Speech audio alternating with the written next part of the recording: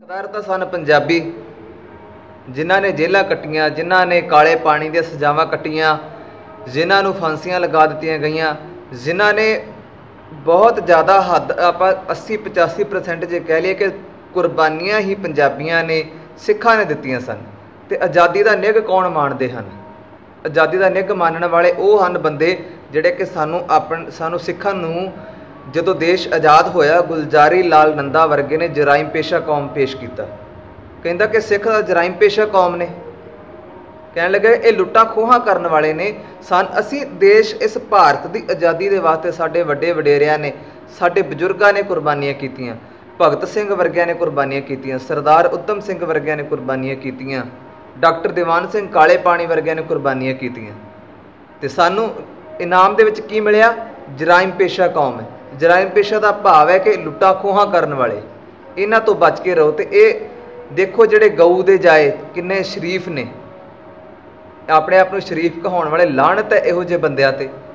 ਸਿਰਫ ਦੋ ਬੰਦਿਆਂ ਦਾ ਫੈਸਲਾ, ਇੱਕ ਨਹਿਰੂ ਤੇ ਦੂਜਾ ਮਹਾਤਮਾ ਗਾਂਧੀ, ਜਿਹਨੂੰ ਕਿਹਾ ਜਾਂਦਾ।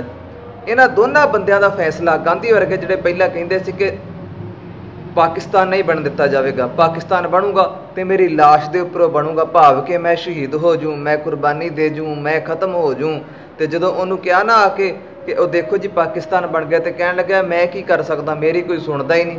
ਤੇ ਕਾਹਨੂੰ ਬਿਆਨਬਾਜ਼ੀਆਂ ਦੇਣੀਆਂ ਸੀਗੀਆਂ? ਤੁਸੀਂ ਦੇਖੋ, ਮੈਂ ਬੇਨਤੀ ਕੀਤੀ ਸੀ ਨਾ ਸ਼ੁਰੂ ਵਿੱਚ, ਕੁਰਬਾਨੀਆਂ ਦੇਣ ਵਾਸਤੇ ਕੌਣ ਅੱਗੇ ਆਏ? ਸਿੱਖਾਂ ਦੇ ਸਾਡੇ ਵੀਰ। ਸਿੱਖ ਪਰਿਵਾਰ ਕੁਰਬਾਨੀਆਂ ਦੇਣ ਲਈ ਅੱਗੇ ਆਏ। ਤੇ ਜਦੋਂ ਨਹਿਰੂ ਵਰਗਿਆਂ ਤੇ ਗਾਂਧੀ ਵਰਗਿਆਂ ਦੇ ਫੈਸਲੇ ਦੇ ਨਾਲ ਕਿੰਨਾਂ ਨੂੰ ਝਟਕਾਇਆ ਗਿਆ? ਪੰਜਾਬੀਆਂ ਨੂੰ। ਉਹ ਸੁਣੋ ਕਿਸ ਤਰ੍ਹਾਂ ਝਟਕਾਇਆ ਗਿਆ। ਪੰਜਾਬੀਆਂ ਨੂੰ ਇਸ ਤਰ੍ਹਾਂ ਝਟਕਾਇਆ ਗਿਆ ਕਿ ਪੰਜਾਬ ਦੇ ਜਿਹੜੇ ਦੋ ਟੁਕੜੇ ਕਰ ਦਿੱਤੇ ਗਏ। ਅੱਧਾ ਟੁਕੜਾ ਜਿਹੜਾ ਸੀਗਾ ਉਹ ਪਾਕਿਸਤਾਨ ਦੇ ਵਿੱਚ ਦੇ ਦਿੱਤਾ ਗਿਆ ਤੇ ਅੱਧਾ ਟੁਕੜਾ ਜਿਹੜਾ ਇੱਧਰ ਭਾਰਤ ਨੂੰ ਦੇ ਦਿੱਤਾ ਗਿਆ। ਵਿਚਾਲਿਓ ਕਿਹਨੂੰ ਚੀਰਿਆ ਗਿਆ? ਪੰਜਾਬ ਨੂੰ। 10 ਲੱਖ ਪੰਜਾਬੀ ਉਸ ਟਾਈਮ ਮਰੇ। ਇਹਨਾਂ ਦੋ ਬੰਦਿਆਂ ਦੇ ਗਲਤ ਫੈਸਲੇ ਦੇ ਨਾਲ। ਮੈਂ ਤਾਂ ਗਲਤ ਕਹਾਂਗਾ ਬੇਸ਼ੱਕ ਕਿਸੇ ਨੂੰ ਮਿਰਚਾਂ ਲੱਗਣ, ਕਿਸੇ ਨੂੰ ਬਹੁਤ ਗਲਤ ਲੱਗੇ ਇਹ ਗੱਲ, ਇਹਨਾਂ ਦੋ ਬੰਦਿਆਂ ਦੇ ਗਲਤ ਫੈਸਲਿਆਂ ਦੇ ਨਾਲ ਪੰਜਾਬੀਆਂ ਨੂੰ ਉਜਾੜਿਆ ਗਿਆ। ਐਡਾ ਵੱਡਾ ਮਹਾਰਾਜਾ ਰਣਜੀਤ ਸਿੰਘ ਦੇ ਸੁਪਨਿਆਂ ਦਾ ਸਿਰਜਿਆ ਹੋਇਆ ਜਿਹੜਾ ਪੰਜਾਬ ਸੀ, ਜਿਹਨੂੰ ਇੱਕ ਮੁੱਠੀ ਪਰ ਛੋਟੀ ਜੀ ਪੰਜਾਬੀ ਸੂਬੀ ਜੀ ਬਣਾ ਕੇ ਪੇਸ਼ ਕਰ ਦਿੱਤਾ। ਬਾਅਦ ਵਿੱਚ ਕੀ ਹੋਇਆ ਕਿ ਚਲੋ ਦੇਸ਼ ਦੀ ਵੰਡ ਹੋਈ 84 ਨੇ ਆਣ ਕੇ ਘੇਰਿਆ ਤੇ ਬਾਅਦ ਵਿੱਚ ਹਿਮਾਚਲ ਕੱਢ ਦਿੱਤਾ ਗਿਆ ਵਿੱਚੋਂ, ਹਰਿਆਣਾ ਕੱਢ ਕੇ ਲੂਲਾ, ਲੰਗੜਾ ਜਾਂ ਸੂਬਾ ਪੰਜਾਬੀਆਂ ਦੇ ਗਲ ਵਿੱਚ ਪਾ ਦਿੱਤਾ।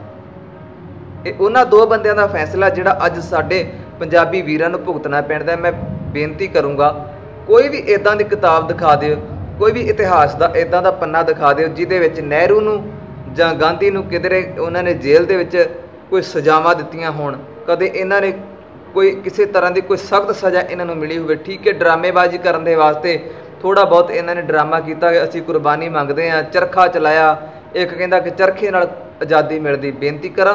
ਚਰਖੇ ਨਾਲ ਕੇਵਲ ਸੂਤ ਕੱਤਿਆ ਜਾਂਦਾ ਆ। ਕੁਰਬਾਨੀ ਨਹੀਂ ਦਿੱਤੀ ਜਾਂਦੀ। ਕੁਰਬਾਨੀ ਫਾਂਸੀ ਲੱਗ ਕੇ, ਆਪਣਾ ਬੰਦ ਬੰਦ ਕਟਵਾ ਕੇ, ਤੋਪਾਂ ਦੇ ਅੱਗੇ ਖੜ ਕੇ, ਰੱਸੇ ਜਿਹੜੇ ਹਨ ਫਾਂਸੀਆਂ ਦੇ ਚੁੰਮ ਕੇ, ਕਾਲੇ ਪਾਣੀ ਦੇ ਜਿਨ੍ਹਾਂ ਨੇ ਰੱਸੇ ਚੁੰਮੇ, ਉਹਨਾਂ ਨੂੰ ਪੁੱਛੋ, ਕਾਲੇ ਪਾਣੀ ਜਿਨ੍ਹਾਂ ਨੇ ਜੇਲਾਂ ਕੱਟੀਆਂ, ਉਹਨਾਂ ਨੂੰ ਪੁੱਛੋ ਆਜ਼ਾਦੀ ਕਿੱਦਾਂ ਮਿਲਦੀ ਹੈ ਇਹ ਰਾਜ ਗੱਦੀਆਂ ਤੇ ਬਹਿ ਕੇ, ਕਲਮਾ ਚਲਾ ਕੇ, ਪੈਨ ਚਲਾ ਕੇ, ਜਾਂ ਕੁਝ ਹੋਰ ਇਹੋ ਜਿਹੇ ਆਰਡਰ ਲਿਖ ਕੇ ਆਜ਼ਾਦੀ ਨਹੀਂ ਮਿਲਦੀ। ਹਾਂ, ਆਜ਼ਾਦੀ ਜਿਨ੍ਹਾਂ ਨੇ ਕੀਤੀ ਹੈ ਜੰਜੀਰਾ ਅੱਜ ਉਹਨਾਂ ਦੇ ਪੈਰਾਂ ਨੂੰ ਵੱਜੀਆਂ ਹੋਈਆਂ ਨੇ। ਅੱਜ ਉਹ ਮਜਬੂਰ ਨੇ। ਕਿਹੜੇ ਮੂੰਹ ਨਾਲ ਸਾਨੂੰ ਕਹਿ ਰਹੇ ਹੋ ਕਿ ਆਜ਼ਾਦ ਹੋਏ? ਤੁਸੀਂ ਸਾਡਾ ਤਾਂ ਪੰਜਾਬ ਉੱਜੜ ਗਿਆ। ਹੱਸਦੇ ਵਸਦੇ ਅਮੀਰ ਪਰਿਵਾਰ ਪਾਕਿਸਤਾਨ ਤੋਂ ਇੱਧਰ ਆਏ, ਉਹ ਗਰੀਬ ਹੋ ਗਏ। ਜਿਹੜੇ ਇੱਧਰਲੇ ਉੱਧਰ ਗਏ, ਉਹ ਗਰੀਬ ਹੋ ਗਏ। ਵੱਡ ਟੁੱਕ ਜਿਹੜੀ ਸ਼ੁਰੂ ਹੋ ਗਈ ਆਪਸ ਦੇ ਵਿੱਚ। ਕਿ, ਕਿੰਨਾ ਨੁਕਸਾਨ ਕਿੰਨਾ ਦਾ ਹੋਇਆ? ਉਧਰ ਪਾਕਿਸਤਾਨ ਵਿੱਚ ਵੀ ਪੰਜਾਬੀਆਂ ਦਾ ਨੁਕਸਾਨ ਹੋਇਆ, ਇੱਧਰ ਆਏ ਤੇ ਇੱਧਰ ਵੀ ਪੰਜਾਬੀਆਂ ਦਾ ਨੁਕਸਾਨ ਹੋਇਆ, ਦਿੱਲੀ ਵਾਲਿਆਂ ਨੂੰ ਤਾਂ ਸਿਰਫ ਕੁਰਸੀਆਂ ਮਿਲੀਆਂ। ਨੁਕਸਾਨ ਤਾਂ ਕੇਵਲ ਪੰਜਾਬੀਆਂ ਦਾ ਹੋਇਆ ਤੇ ਕਿਹੜੀ ਕਿਹੜੀ ਆਜ਼ਾਦੀ ਦੀ ਗੱਲ ਕਰਦੇ ਪਏ ਹੋ? ਸਿਸਟਮ ਸਾਰਾ ਉਦਾਂ ਹੀ ਅੱਗੇ ਅੰਗਰੇਜ਼ਾਂ ਦੀ ਗੁਲਾਮੀ ਕਰਦੇ ਸੀ ਤੇ ਹੁਣ ਇਹਨਾਂ ਦੀ ਗੁਲਾਮੀ ਕਰਨ ਦਾ ਆ। ਜੋ ਇਹਨਾਂ ਦੇ ਮਨ ਚ ਆਉਂਦਾ ਆ, ਉਹ ਕਾਨੂੰਨ ਪੇਸ਼ ਕਰ ਦਿੰਦੇ ਨੇ। ਜੋ ਇਹਨਾਂ ਦੇ ਮਨ ਚ ਆਉਂਦਾ ਆ, ਉਹ ਇਹ ਗੱਲ ਕਹਿ ਮਾਰਦੇ ਨੇ। ਜਦੋਂ ਜੀ ਕਰਦਾ ਆ, ਜਿਹੜਾ ਜਿਹੜੀ ਵੀ ਕੋਈ ਗੱਲ ਆਉਂਦੀ ਕਹਿ ਦਿੰਦੇ ਨੇ ਮੀਡੀਆ ਦੇ ਵਿੱਚ ਆ ਕੇ ਕਿ ਆਹ ਗੱਲ ਇਦਾਂ ਤੇ ਉਹ ਗੱਲ ਇਦਾਂ ਦੱਸੋ ਤਾਂ ਸਹੀ, ਦੇਸ਼ ਆਜ਼ਾਦ ਹੋਣ ਦੇ ਬਾਅਦ ਰੁਪਈਆ ਕਿੰਨਾ ਥੱਲੇ ਚਲੇ ਗਿਆ? 70 ਰੁਪਏ 9 ਪੈਸੇ ਕੱਲ ਮੈਂ ਪੜਿਆ ਡਾਲਰ ਦੇ ਮੁਤਾਬਕ ਰੁਪਈਆ ਚੱਲਦਾ ਪਿਆ ਵਾ। ਕਿਹੜੀ ਆਜ਼ਾਦੀ ਦੀਆਂ ਗੱਲਾਂ ਕਰਦੇ ਹੋ? ਬੇਈਮਾਨੀ ਇਹਨਾਂ ਦੇ ਖੂਨ ਦੇ ਵਿੱਚ ਉਸੇ ਤਰ੍ਹਾਂ ਵੜੀ ਹੋਈ ਹੈ। ਜਾਤ ਪਾਤ ਦਾ ਵਿਤਕਰਾ, ਉਹ ਇਹਨਾਂ ਦੇ ਖੂਨ ਦੇ ਵਿੱਚ ਉਸੇ ਤਰ੍ਹਾਂ ਵਿਤਕਰਾ, ਜਿਹੜਾ ਅਜੇ ਵੀ ਵੜਿਆ ਹੋਇਆ ਹੈ। ਕਿਹੜੀ ਆਜ਼ਾਦੀ ਹੈ? ਕਿ ਉਹ ਕੋਈ ਖੁੱਲ ਕੇ ਹਵਾ ਨਹੀਂ ਲੈ ਸਕਦਾ। ਧੀਆਂ ਭੈਣਾਂ ਅੱਜ ਸੁਰੱਖਿਅਤ ਨਹੀਂ ਇਸ ਦੇਸ਼ ਦੇ ਵਿੱਚ? ਕਿਹੜੀ, ਕਿਸ ਤਰ੍ਹਾਂ ਦੀ ਤੁਸੀਂ ਆਜ਼ਾਦੀ ਕਹਿੰਦੇ ਹੋ ਕਿ ਦੇਸ਼ ਆਜ਼ਾਦ ਹੋਇਆ? ਕਾਨੂੰਨ ਅਮੀਰਾਂ ਵਾਸਤੇ ਹੋਰ ਹੈ, ਗਰੀਬਾਂ ਵਾਸਤੇ ਹੋਰ ਹੈ? ਕਾਗਜ਼ਾਂ ਦੇ ਵਿੱਚ ਇੱਕੋ ਜਿਹਾ ਕੀਤਾ ਹੋਇਆ, ਜਦੋਂ ਕਾਰਵਾਈ ਕਰਨ ਦਾ ਸਮਾਂ ਆਉਂਦਾ ਆ, ਗਰੀਬ ਬੰਦੇ ਨੂੰ ਪਹਿਲਾਂ ਫਾਹੇ ਲਾਇਆ ਜਾਂਦਾ, ਅਮੀਰ ਨੀਰਵ ਮੋਦੀ ਵਰਗੇ, ਵਿਜੇ ਮਾਲਿਆ ਵਰਗੇ, ਉਹ ਤਾਂ ਕਰੋੜਾਂ ਰੁਪਏ ਹੜੱਪ ਕੇ ਵਿਦੇਸ਼ਾਂ ਦੇ ਵਿੱਚ ਤੁਰੇ ਫਿਰਦੇ ਨੇ। ਇੱਥੇ ਕੋਈ ਕਿਸਾਨ 50000 ਦਾ ਕਰਜ਼ਦਾਰ ਹੋਵੇ ਤੇ ਉਹਦੇ ਘਰੇ ਸੰਮਣ ਲੈ ਕੇ ਪਹੁੰਚ ਜਾਂਦੇ ਹਨ। ਉਹਨੂੰ ਫਾਹੇ ਲੱਗਣਾ ਪੈਂਦਾ ਕਿਸਾਨ ਨੂੰ। ਕਿੱਧਰ ਗਿਆ ਉਹ ਕਾਨੂੰਨ? ਕਿੱਧਰ ਗਈ ਦੇਸ਼ ਦੀ ਆਜ਼ਾਦੀ? ਕੇਵਲ ਗੱਲਾਂ ਦੇ ਨਾਲ ਹੀ ਆਜ਼ਾਦੀ। ਫਿਰ ਬੇਨਤੀ ਕਰੂੰਗਾ, ਸਭ ਤੋਂ ਜ਼ਿਆਦਾ ਨੁਕਸਾਨ ਪੰਜਾਬ ਨੂੰ ਪਹੁੰਚਿਆ, ਪੰਜਾਬੀਆਂ ਨੂੰ ਪਹੁੰਚਿਆ। ਕਿਉਂਕਿ ਸਾਡੇ ਅੱਧਿਓਂ ਜ਼ਿਆਦਾ ਗੁਰੂ ਧਾਮ ਤਾਂ ਉਧਰ ਰਹਿ ਗਏ। ਗੁਰੂ ਨਾਨਕ ਸਾਹਿਬ ਦਾ ਜਿੱਥੇ ਜਨਮ ਹੋਇਆ, ਉਹ ਉੱਥੇ ਰਹਿ ਗਿਆ। ਗੁਰੂ ਅਰਜਨ ਸਾਹਿਬ ਸੱਚੇ ਪਾਤਸ਼ਾਹ ਜੀ ਨੂੰ ਜਿਹੜੀ ਜਗ੍ਹਾ ਉੱਪਰ ਸ਼ਹੀਦ ਕੀਤਾ ਗਿਆ, ਉਹ ਉੱਥੇ ਰਹਿ ਗਿਆ। ਗੁਰਦੁਆਰਾ ਪੰਜਾ ਸਾਹਿਬ ਉੱਥੇ ਰਹਿ ਗਿਆ। ਜਿੱਥੇ ਭਾਈ ਲక్ష్మణ ਸਿੰਘ ਧਾਰੋਵਾਲ ਜੀ ਨੂੰ ਸ਼ਹੀਦ ਕੀਤਾ ਗਿਆ ਗੁਰੂ ਘਰ, ਉਹ ਉੱਥੇ ਰਹਿ ਗਏ ਨਨਕਾਣਾ ਸਾਹਿਬ, ਜਿੱਥੇ ਭਾਈ ਸਾਹਿਬ ਜੀ ਨੂੰ ਸ਼ਹੀਦ ਕੀਤਾ ਗਿਆ। ਫਿਰ ਗੁਰੂ ਰਾਮਦਾਸ ਸੱਚੇ ਪਾਤਸ਼ਾਹ ਜੀ ਦਾ ਜਨਮ ਅਸਥਾਨ ਉੱਥੇ ਰਹਿ ਗਿਆ ਪਾਕਿਸਤਾਨ ਦੇ ਵਿੱਚ। ਸਗੋਂ ਸਾਨੂੰ ਤਾਂ ਹਰ ਥਾਂ ਤੇ ਨੁਕਸਾਨ ਹੀ ਪਹੁੰਚਿਆ। ਮਹਾਰਾਜਾ ਰਣਜੀਤ ਸਿੰਘ ਦੇ ਜਿਹੜੀਆਂ ਯਾਦਗਾਰਾਂ ਸਨ ਸਾਡੇ ਕੋਲ, ਉਹ ਪਾਕਿਸਤਾਨ ਦੇ ਵਿੱਚ ਰਹਿ ਗਈਆਂ। ਸਾਡੇ ਕੋਲ ਕੀ ਸਾਡੇ ਕੋਲ ਰਿਹਾ ਹੀ ਕੁਝ ਨਹੀਂ। ਅਨਿੱਕਾ ਜਿਹਾ ਇੱਕ ਲੂਲਾ ਲੰਗੜਾ ਸੂਬਾ ਪੰਜਾਬੀਆਂ ਦੇ ਗਲ ਦੇ ਵਿੱਚ ਪਾ ਦਿੱਤਾ।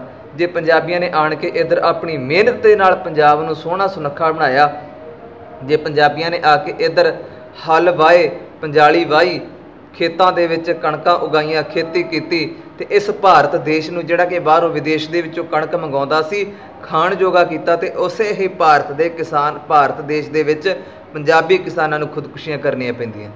ਕਿੱਦਾਂ ਦੀ ਇਹ ਆਜ਼ਾਦੀ ਹੈ? ਜਿੰਨਾ ਚਿਰ ਕਾਨੂੰਨ ਸਭਨਾਂ ਦੇ ਵਾਸਤੇ ਇੱਕ ਨਹੀਂ ਬਣਦਾ ਮੈਨੂੰ ਨਹੀਂ ਲੱਗਦਾ ਕਿ ਇਹ ਆਜ਼ਾਦੀ, ਹਾਂ, ਇਹ ਗੱਲ ਜ਼ਰੂਰ ਹੈ।